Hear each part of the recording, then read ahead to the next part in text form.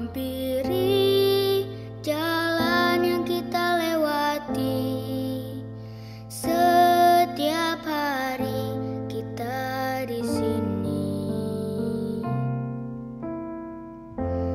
Ku menanti